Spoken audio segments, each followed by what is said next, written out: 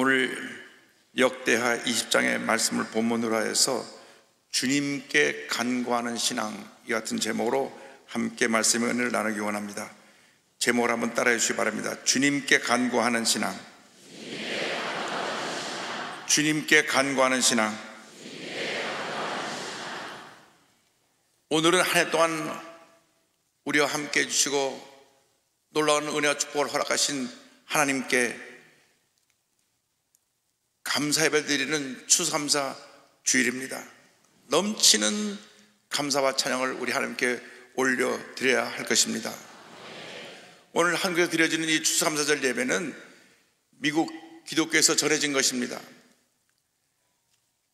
남북전쟁이 한참일 때 1863년 10월 3일 에이브람 링컨 대통령께서 이 고난 중에 감사하자. 그래서 그의 11월 마지막 목요일을 공휴일로 제정을 했습니다.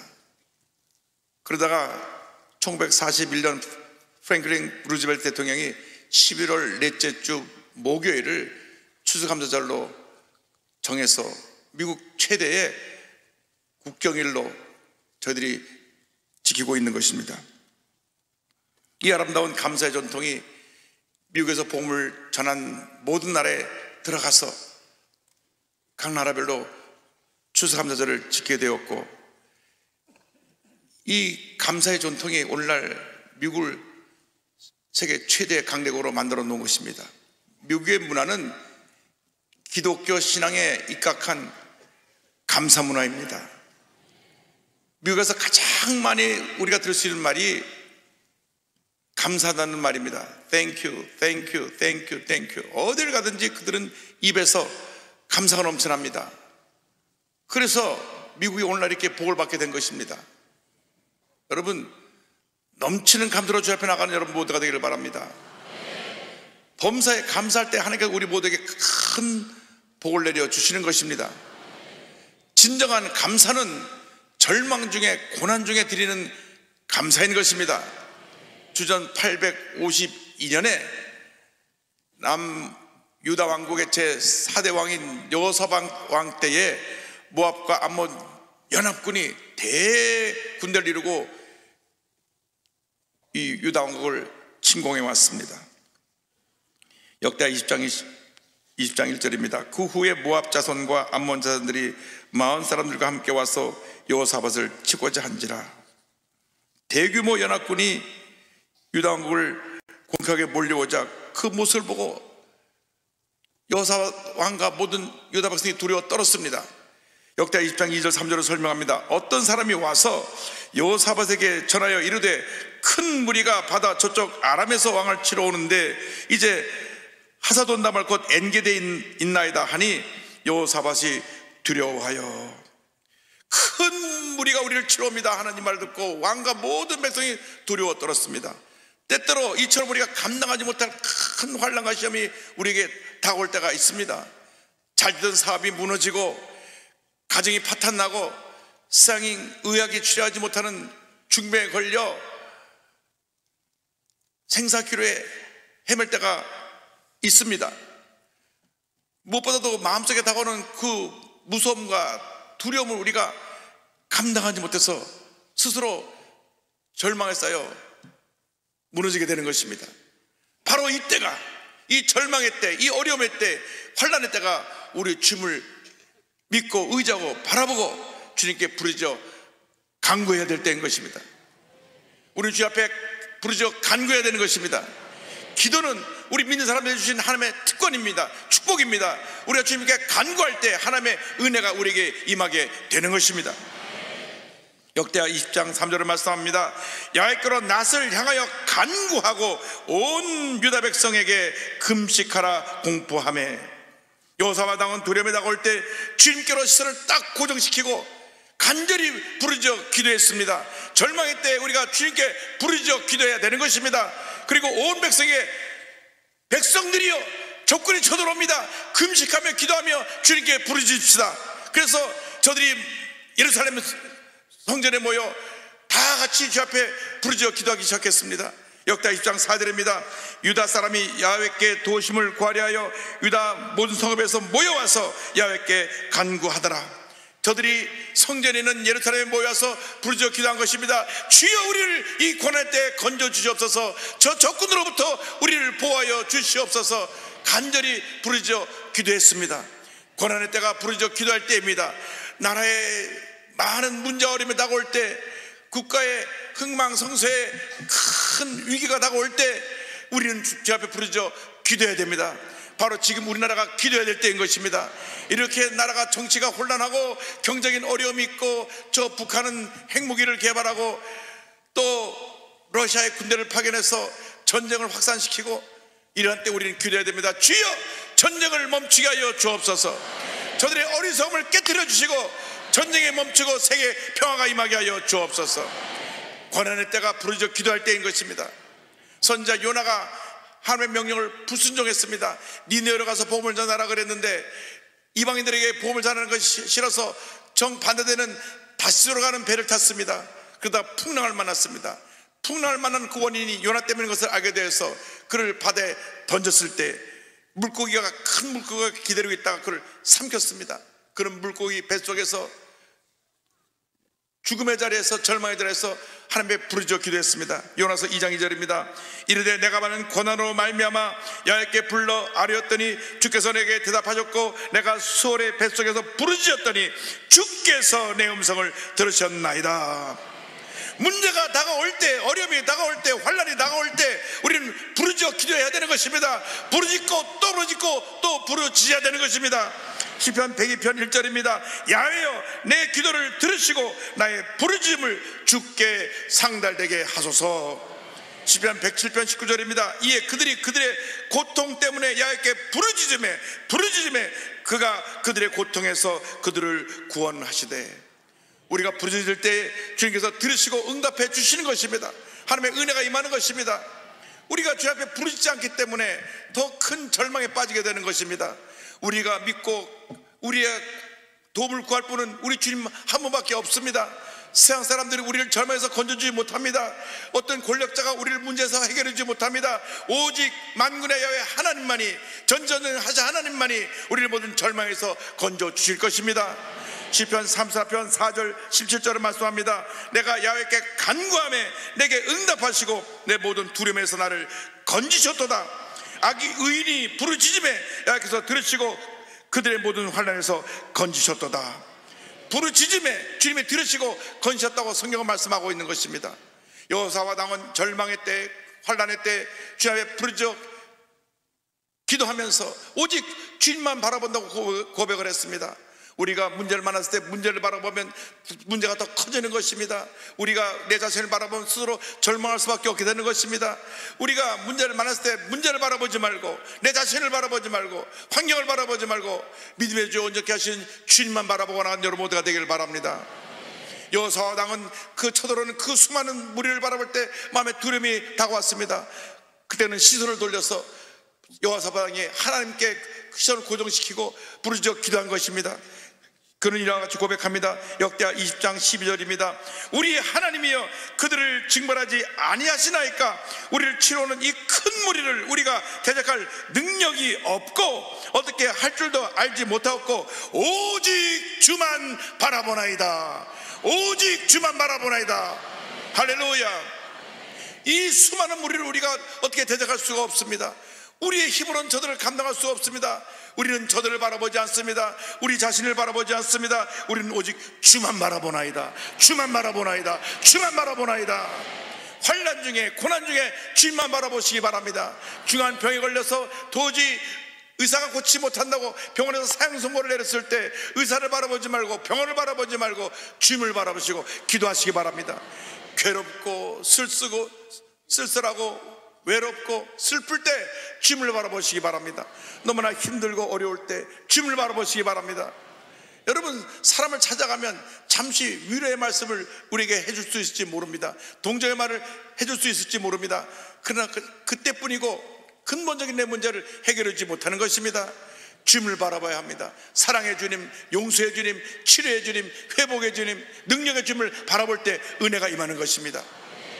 순례자들이 예루살렘 성을 향하여 올라가며 찬양을 했습니다. 시편 121편입니다. 내가 산을 향하여 눈을 들리라 나의 도움이 어디서 올까? 나의 도움은 천지를 지으신 여호와 야훼에게서로다. 내가 산을 향하여 눈을 들리라 나의 도움이 어디서 올까? 나의 도움이 천지를 지으신 야훼에게서로다. 할렐루야. 주님을 바라보세요. 주님에게 희망이 있습니다. 주님에게 은혜가 있습니다. 주님에게 기적이 있습니다. 주님에게 문제의 답이 있는 것입니다. 사람에게 문제의 답이 있는 것이 아닙니다. 물질에게 문제의 답이 있는 것이 아닙니다.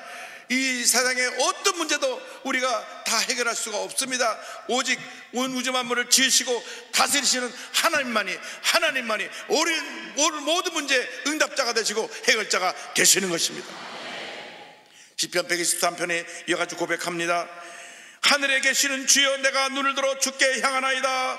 상전의 손을 바라보는 종들이 눈같이 여조인의 손을 바라보는 여종의 눈같이 우리의 눈이 야외 우리 하나님을 바라보며 우리에게 은혜 베풀어 주기를 기다리나이다. 할렐루야. 아무리 힘들고 어려워도 여러분 주님을 바라봐야 합니다. 너무나 슬프고 괴롭고 지쳐서 인생을 포기하고 싶을 때 포기하면 안 됩니다. 바로 그때가 주님을 바라보고 주님을 붙들 때인 것입니다. 그 마지막 순간에 그때를 견디지 못해서 사람들이 스스로 목숨을 포기하는 그러한 안타까운 일들이 얼마나 많은지 모릅니다. 그때 한번 고개를 들어서 주님을 바라보고 주님을 붙잡으면 우린 다시 살아나는 것입니다. 절망에 자서 일어나게 되는 것입니다. 주님께서 우리에게 독실의 낙엽침에 올라가 같은 샘을 우리에게 허락해 주시는 것입니다. 이사야 40장 31절입니다. 오직 야외를 악망하는 자는 새 힘으로 느리니 독수리가 낙에 치며 올라간 같을 것이요 다른 박질하 해도 곤비하지 아니하겠고 걸어가도 피곤하지 아니하리로다. 할렐루야. 독수리의 낙에 치며 올라간 같은 샘을 얻는 여러분 모두 되기를 주님의 이름으로 축원합니다. 사람을 바라보지 말고 환경을 바라보지 말고 문제를 바라보지 말고 주님만 바라보고 세임을 얻고 날마다 주님의 가운데 승리의 삶을 살아가는 여러분 모두 되기를 주님의 이름으로 축원합니다. 우리가 주 앞에 부르짖어 기도할 때 주님 앞에 우리가 모든 것을 맡기고 기도할 때 시선을 고정시킬 때 주님께서 우리에게 응답을 가져다 주십니다. 우리는 그때 하나님의 음성을 들어야 되는 것입니다. 모든 백성들이 성전 앞에서 주님만 바라보며 간구할 때 성령께서 레이 사람 야세알에게 시엘에게 임하시고 말씀하셨습니다. 역대하 20장 14절입니다. 여호와 야외 영이 회중 가운데에서 레이 사람 야시엘에게 임하셨으니 그는 성령에 충만해서 하나님께서 주시는 메시지를 저들에게 선포했습니다. 20장 15절입니다. 야세엘이 이르되 온 유다와 예루살렘 주민과 여사바 등이 왕이여 들을지어다 여호와 야훼께서 이같이 너에게 말씀하시기를 너희는 이 큰 무리로 말미암아 두려워하거나 놀라지 말라 이 전쟁은 너에게 속한 것이 아니요 하나님께 속한 것이니라 하나님께서 말씀하십니다 이 큰 무리로 인하여 두려워하거나 놀라지 말라 여러분이 당한 환란을 인해서 두려워하거나 놀라지 말게 되시길 바랍니다. 마음에 두려움이 다가오면 모든 것이 무너지는 것입니다. 주님 말씀하십니다. 두려워하지 말라, 두려워하지 말라, 두려워하지 말라, 두려워하지 말라. 어떤 환란이 다가와도 문제가 다가와도 절망적인 순간이 다가와도 내 몸에 중병이 걸려서 의사가 손을 놓았다고 할지라도 두려워하면 안 됩니다. 염려하면 안 됩니다. 두려움은 두려움을 낳고 염려는 염려를 낳는 것입니다. 걱정은 걱정을 낳는 것입니다. 두려워할 시간에 염려할 시간에 주님을 바라보고 부르짖어 기도하시기 바랍니다. 이사 40장 10절에 주님 말씀하셨습니다. 두려워하지 말라. 내가 너와 함께 함이라. 놀라지 말라 나는 내 하나님이 됨이라 내가 너를 굳세게 하리라. 참으로 너를 도와주리라. 참으로 나의 의로운 오른손으로 너를 붙들리라. 할렐루야. 두려워하지 말라. 두려워하지 말라. 두려워하지 말라. 여러분 두려워해서 무슨 문제가 해결될 수가 있겠습니까? 두려움은 오히려 우리 삶 가운데 큰 절망과 고통을 가다 줄 뿐인 것입니다. 사람들이 마음의 두려움을 이기지 못해서 스스로 무너지는 것입니다 어떤 문제가 어림이 다가도 우리는 마음을 강하게 하고 담대하고 강하게 하고 담대해서 두려움을 물리치고 염려 걱정을 물리치고 주님 앞에서 위대한 승리자의 삶을 살아가야 할 것입니다. 이세 야하실 선자가 계속 외칩니다. 이 전쟁은 하나님께 속한 것이다. 이 전쟁은 하나님께 속한 것이다. 여러분이 싸우는 크고 작은 많은 문제들, 크고 작은 전쟁들은 다 하나님께 속하기 때문에 하나님께 맡기면 하나님이 해결해 주시는 것입니다. 여러분이 해결하는 것이 아니라 하나님께서 그 문제를 해결해 주시고 놀라운 역사를 이루어 주시는 것입니다. 이스라엘 백성들이, 백성들이 430년 동안 애굽에서 종살이 하다가 풀려나서 이제 가난 땅을 향해 가는데 앞에는 홍해가 가로막혔고 뒤에는 바로 왕의 군대가 쫓아왔습니다. 저들이 두려워 떨었습니다. 이제 우리는 꼼짝없이 여기 갇혀서 죽게 되었구나. 그때 모세가 담대 외칩니다. 출애굽 14장 14절입니다. 야훼께서 너희를 위하여 싸우시리니 너희는 가만히 있을지니라. 하나님께서 우리를 대신하여 싸워 주시는 것입니다.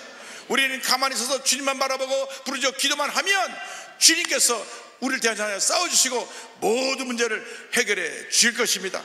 그러므로 절망 가운데 어려운 가운데 낙심하지 말고 두려워하지 말고 오히려 주 앞에 감사하고 찬양하고 주 앞에 믿음으로 전해 나가는 여러분 모두가 되기를 바랍니다. 그래서 여호사와 당이 하나님의 주신 말씀을 응답으로 알고 하나님을 찬양하라. 우리가 주님을 찬양하자. 이제는 응답을 받았으니 우리가 주님을 찬양하는 것밖에는 답이 없다. 그래서 저들에게 하나님을 찬양하라고 말씀했습니다. 역대 20장 19절입니다. 그가 자손과 고라 자손에게 속한 레위 사람들은 서서 힘이 큰 소리로 이스라엘 하나님 여호와 야훼를 찬송하니라. 그리고 이제 전쟁에 나가야 되는데 찬양대를 조직해라. 가운을 입히고 찬양을 하며 저 적군을 향해 나가자. 군사들은 그 뒤를 따르고 찬양대가 맨 앞서서 적진을 향해 나가라. 세계 역사상 이렇게 찬양대가 앞장서서 찬양을 부르며 나가며 전쟁하는 역사가 없습니다. 그런 전쟁이 없습니다. 그런데 저들이 찬양을 부르며 나갈 때 하나님 역사하셨습니다. 하나님께서 역사하셔서 저 연합군끼리 서로 서로 막 싸워서 서로 죽이게 하시고 서로 멸망하게 하셨습니다. 역대 20장 21절입니다. 백성과 더불어 의논하고 노래하는 자들을 택하여 거룩한 예복을 입히고 군대 앞에서 행진하며 야훼를 찬송하며 이르기를 야훼께 감사하세 그의 인자심이 영원하다 하게 하였더니 찬양하고 또 찬양하실 때 저들이 서로 싸워서 완전히 멸망을 당하고 칼한번 휘두르지 않고 활한번 쏘지 않고 그 전에서 놀라운 승리를 거두는 것입니다. 하나님 앞에 찬양과 감사를 드리면 하나님께서 대신 싸워주셔서 모든 적을 변하시는 것입니다. 찬양과 감사는 우리를 절망에서 희망으로 죽음에서 생명으로 우리를 인도하는 것입니다. 어떤 어려움 다가와도 문제를 만나도 여러분 여러분 입에서 찬양과 감사가 그치면 안 됩니다. 입을 열어서 감사합니다. 감사합니다. 감사합니다. 감사합니다. 절망 중에 감사해야 됩니다. 문제를 만났을 때 감사해야 됩니다. 주님을 찬양해야 됩니다. 그러면 주님이 역사하시는 것입니다. 이것이 바로 순복음의 신앙입니다. 성령 충만한 사람은 문제를 만나도 감사하고 어려움을 당해도 감사하고 절망 중에 감사하고 환란 중에 감사하고 아플 때 감사하고 고통당할 때 감사하는 사람들이 바로 성령 충만한 사람이요 순복음의 사람들인 것입니다. 여러분 이와 같은 감사를 통하여 위대한 승리 역사를 이루는 여러분 모두 되기를 주님의 이름으로 축원합니다. 원망 불평할 수밖에 없는 상황에서 감사를 통하여 승리하고 큰 기적을 체험한 우리 김재권 장로님 간증을 드리길 원합니다. 이분은 맨손으로 시작해서 7천발기 신앙으로 치킨 프랜차이즈 시장에서 가마치 통닭이라는 그러한 체인을 열어갖고 지금 크게 성공한 예장 합신 영광교회 장로님이신데요. 회사 이름이 TGY입니다. Thanks God and You라고 해서 하나님과 고객에게 감사합니다 라는 제목으로 이 회사 이름을 만들고 지금 크게 성공하여 하나님께 영을 돌리고 있는데 그의 어린 시절은 고난의 연속이었습니다. 자기들을 아이들을 공부시키기 위해서 부모님이 시골에서 올라와서 노점상에서 닭을 팔았는데 중학, 중학교 2학년 때 연탄 가스 중독으로 부모님이 돌아가셨어요. 졸제 소년 가정이 돼서 동생들과 흩어져 갖고 본인은 신문 배달하고 하면서 근근히 살아갈 수밖에 없었습니다. 이후 친척이 운영하는 닭가게에 나가서 새벽 4시부터 밤 11시까지 하루 여러 시간 동안 몸 부서지게 일을 하면서 자전거로 배달하면서 열심히 일을 했는데 사람들에게 돌아오면서 싸늘한 시선에 저는 자식 없는 못난 녀석이라고. 그럼 멸시와 천대뿐이었습니다. 이를 악물고 그 어려움을 견뎌내면서 열심히 일을 했습니다. 그래서 본인이 꿈을 가졌습니다. 이제 내가 앞으로 대종 운전면허 취득해서 해외 건설자로 나갔다 들어와서 결혼도 하고 그다음 이제는 개인 택시를 하겠다 그런 희망을 품고 열심히 하고 있었는데 한 택시 기사의 거짓 증언으로 말미암아 그런 수개월 동안 누명을 쓰고 구치소에 갇히게 됩니다. 새벽에 닭 배송을 하는데 언덕 꼭대기에서 자전거를 타고 내려오던 아, 아, 중학생 둘이서 옆에 있는 택시를 들이받았습니다. 자기는 옆에 차가 택시를 들이받고 자기가 상관없는 것이기 때문에 그냥 일이 바쁘니까 신호등이 바뀌어서 떠났는데 택시 운전자가 차가 부서진 걸 갖다가 배상받으려고 중학생들이 배상을 못할 테니까 자기가 옆에 차가 자기를 받고 도망갔다고 뺑소니 신고를 한 겁니다. 자기는 그 옆에 서 있었을 뿐인데 그래서 유치장에 갇혔는데 실제로 사고를 낸 중학생들이 와서 아 저희들이 자전거로 들이받다고 얘기를 했어도 어른 말을 믿어주고 애들 말을 믿어줘야 하냐고 뺑소니라 그래가지고 감옥에 집어넣습니다. 기가 막힐 노릇입니다. 누명을 쓰고 감옥에 들어갔는데 내가 해외 노동자로 나가서 거기서 돌아와서 편안하게 안정적인 가정을 이루고 살기로 했던 꿈이 하루아침에 무너지면서 크게 절망했습니다. 그런데 어느 날 구치소에서 우연히 성경책을 보게 되었어요. 그래서 도대체 무슨 내용이 있나고 펼쳐보는데 거기 용서에 대한 내용이 나왔습니다. 마태복음 6장 14절 15절입니다. 너희가 사람의 잘못을 용서하면 너희 하늘 아버지께서도 너희 잘못을 용서하시려니와 너희가 사람의 잘못을 용서하지 아니하면 너희 아버지께서도 너희 잘못을 용서하지 아니하시리라. 말씀을 읽어보니까 믿음은 없었지만 자신을 괴롭히는 사람을 용서해야 나도 용서받을 것이라는 생각을 하니까 용서를 해야 되겠다는 생각이 들었습니다. 그런데 용서할 수가 없어요. 거짓 증언해갖고 자기를 갖다 감옥에 집어넣은 사람이 너무나 미웠습니다. 분노가 치밀었습니다. 그래서 성경을 계속 읽다 보니까 로마서 12장 19절로 21절에 이와 같은 말씀이 있었습니다. 내 사랑하는 자들아 너희가 친히 원수를 갚지 말고 하나님의 진노하심에 맡기라 기록되었으되 원수 갚는 것이 내게 있으니 내가 갚으리라 주께서 말씀하시니라 내 원수가 줄이거든 먹이고 목마르거든 마시게 하라 그리함으로 내가 숯불을 그 머리에 쌓아 놓으리라 이 말씀에 큰 감동을 받았습니다. 하나님께서 원수를 갚아주시는구나. 내가 원수를 용서하지 못하는 내 마음속에 있는 이 미움이, 내 마음속에 있는 이 상처가 끊임없이 나를 괴롭힐 터인데, 이제 하나님께 다 맡기고 그를 용서하자. 그래서 그의 마음속에 자기의 누명 씌운 사람을 용서하기 시작했습니다. 용서하고 마음의 평안을 갖고 난 다음 그가 집행유예 왔고 풀려나서 열심히 신앙생활 하는데 1년 후에 그 세례를 받고 교인이 되고 거래처 사장님의 소개로 예수 잘 믿는 여성을 만나서 결혼하고 그리고 나서 이제 본인이 평생 어릴 때부터 닭가게를 했으니까 이 닭장사를 하면서 잘 잡게 됐는데 고난이 끝이지 않았습니다. 큰딸이 뇌성마비가 온 것입니다. 그래서 길어야 2년밖에 더 살지 못한다고 하는 그러한 판단을 받았습니다. 그래서 그는 하나님께 부르짖은 것 외에는 답이 없었기 때문에 기도에 올라가서 일주일 내내 부르짖게 됐습니다. 하나님 우리 딸을 살려주옵소서 우리 딸을 살려주옵소서 그건 하나님만 바라고 울부짖고 간절히 기도했을 때 하나님께서 그 딸을 살려주셔서 점점 점점 그 상태가 좋아지게 만들어 주셨습니다 할렐루야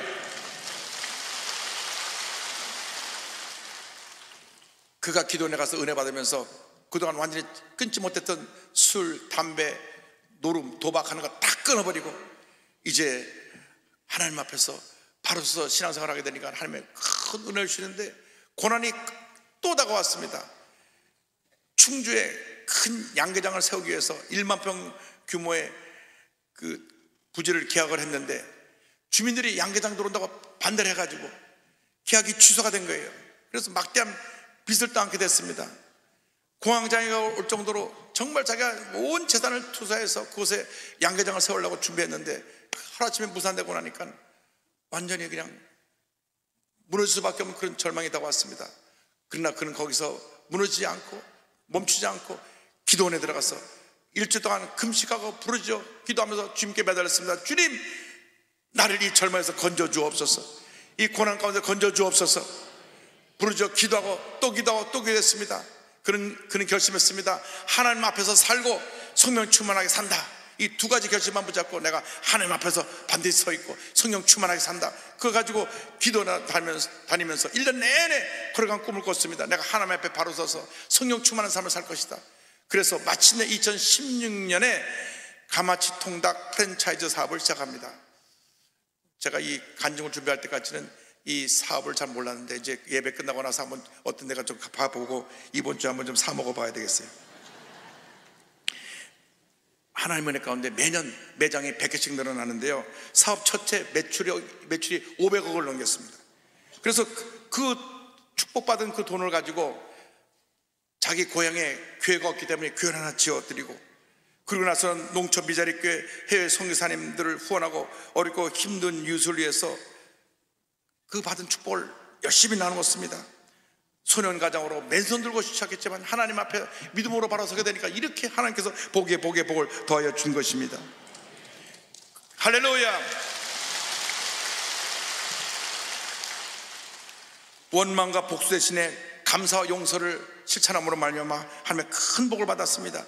의인은 일곱 번 넘어질지라도 다시 일어나려니와 자문서 24장 16절 말씀 붙잡고 늘은 그 절망에서 또 일어나고 또 일어나고 또 일어나서 위대한 하나님의 역사를 이루는 것입니다.